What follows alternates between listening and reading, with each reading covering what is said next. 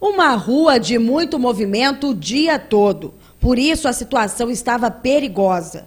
Dois cavalos estavam soltos na Avenida Gabriel do Ó na manhã desta quinta-feira e causaram o maior transtorno no trânsito.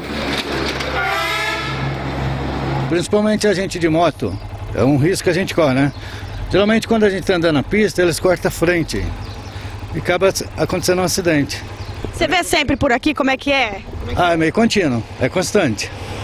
Tem sempre animal por aqui. Com certeza. Principalmente boi, vaca, tem muitos aqui. Assustados com tantos veículos, os animais deixaram os motoristas que passaram por ali preocupados. Segundo os moradores do local, essa cena é frequente. Todos os dias tem algum animal por aqui atrapalhando o trânsito e ainda oferecendo riscos de acidente. Toda vez que eu estou caminhando, esse cavalo está solto aqui. Eu acho que tem que ter um estabelecimento próprio para isso.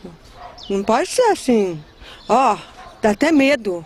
Tá difícil a situação aqui. A Dirce mora próxima ao local e conta que por várias vezes foi pega de surpresa pelo animal no meio da rua. Nossa, não é só aqui não, é do outro lado da avenida descendo o Franzone ali, é direto esses cavalos, sabe? E faz cocô na porta das casas, sabe?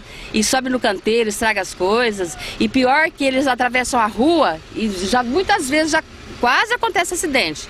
Direto tá assim, sabe? O carro para em cima deles, porque eles atravessam na frente.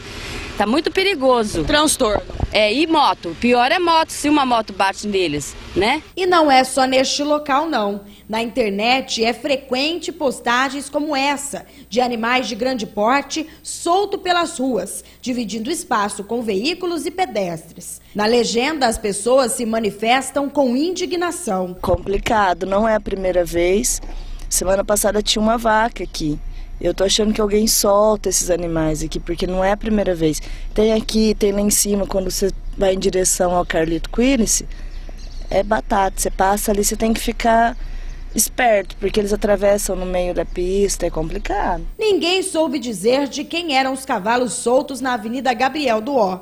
Nossa equipe procurou a prefeitura, que afirmou que não tem nenhuma lei que regulamenta a prática, mas que irá estudar a possibilidade. É, talvez seja por isso que estamos vendo todos os dias essa mesma cena.